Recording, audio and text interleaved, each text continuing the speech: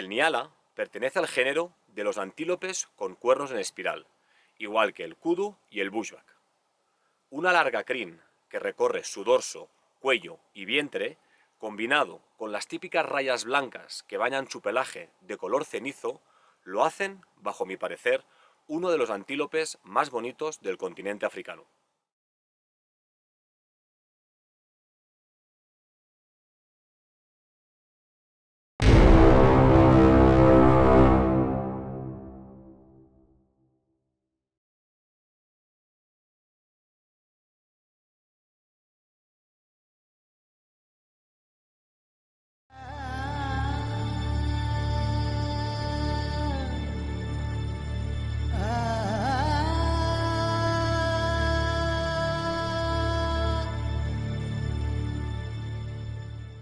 De pequeño, siempre soñé con poderle jugar un lance a uno de estos bonitos animales.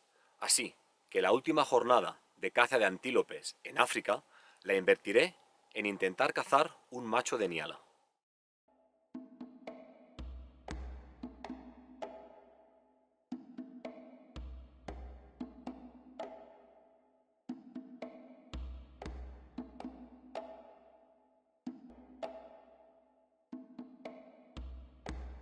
Después de desayunar, tiramos unas flechas para ver que el material sigue estando en perfecto estado.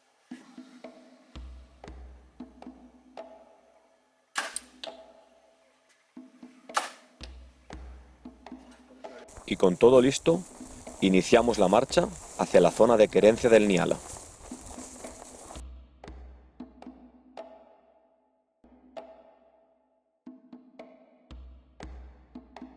De camino, África se nos muestra en todo su esplendor.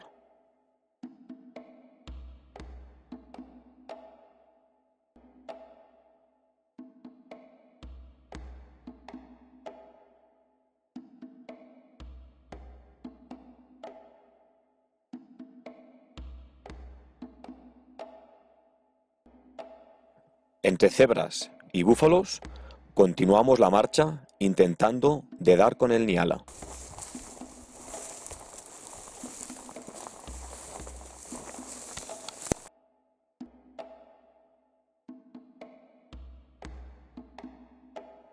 El sol, poco a poco, lo va inundando todo. Nos topamos con un precioso macho de cebra, y aunque se trata de una muy buena oportunidad, este no es mi objetivo.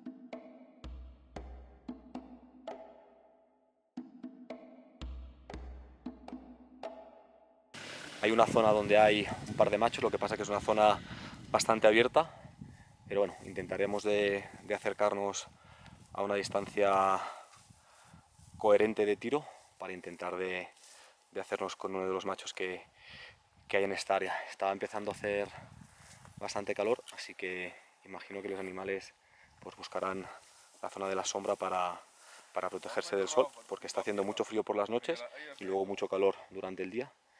Así que intentaremos de localizar el Nayala y pues ver o dónde se va a tumbar o cómo se comporta e intentar hacerle, hacer una entrada. Vamos a ver qué tal.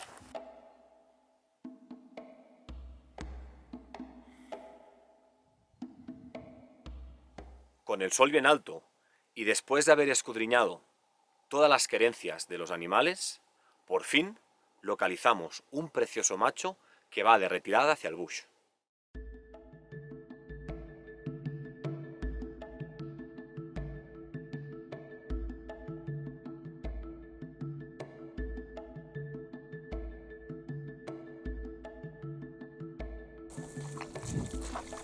Con el aire a favor, intentaremos de cortarle el paso antes de que se meta en el espeso.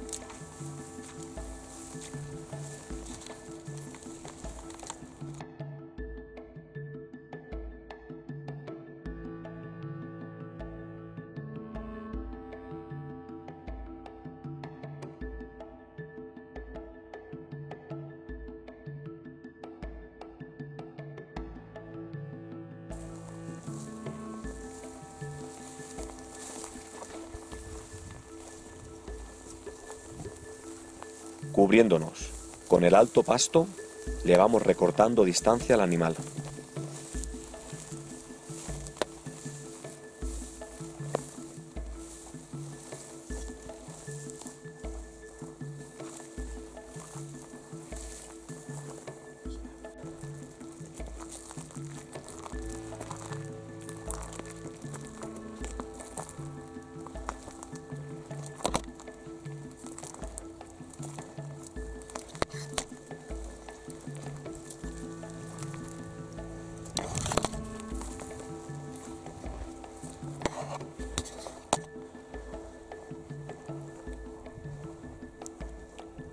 De nuevo, localizamos al animal, pero las altas hierbas no me permiten medirlo con precisión.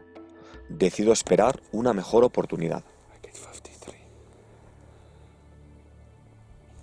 You see the neck? You see the, the neck goes like this?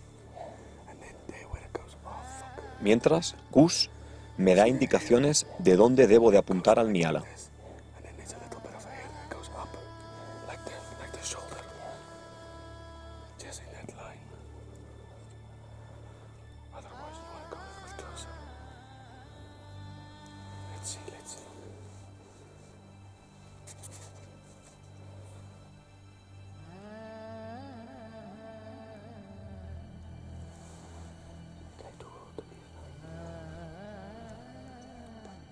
Los minutos van pasando. Finalmente, el Niala decide mover ficha y muy lentamente se dirige a la cobertura del bush. Es la oportunidad perfecta para colocarnos a distancia de tiro.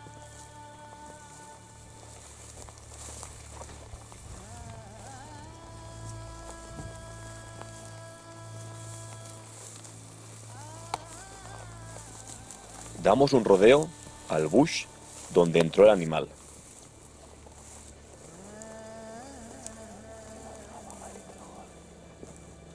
Y al fin, a 35 metros, entre el ramaje, por un pequeño hueco, veo una parte del pecho del Niala. A little bit back.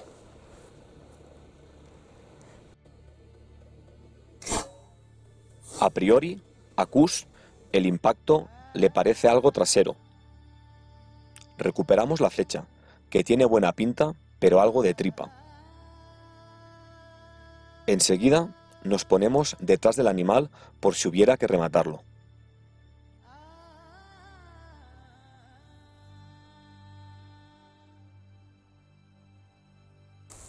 A escasos 100 metros del lugar del lance, localizamos al Niala tumbado.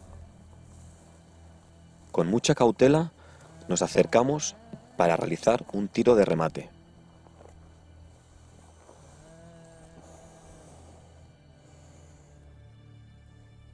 Pero al impacto de la flecha, el animal ya no reacciona.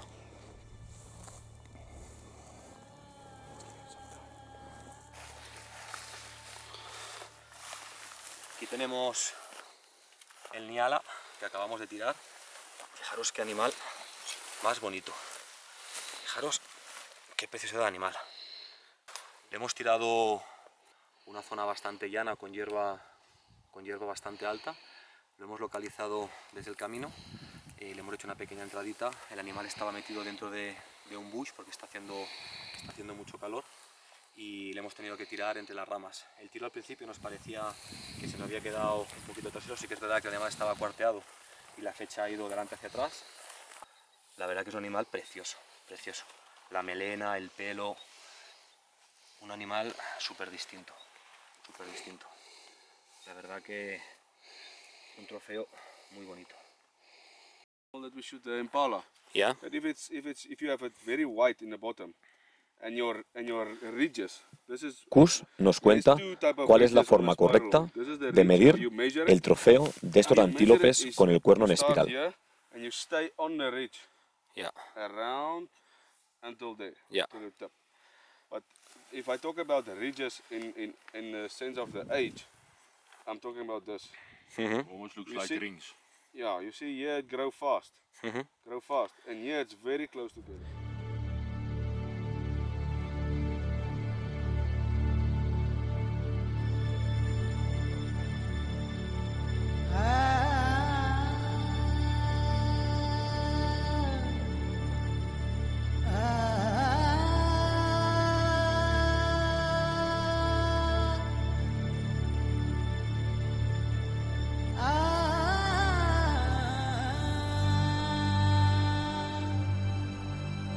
Con el lance a este precioso animal, damos por finalizada la caza de antílopes y me preparo para afrontar una de las experiencias cinegéticas más contradictorias y emocionantes de mi vida.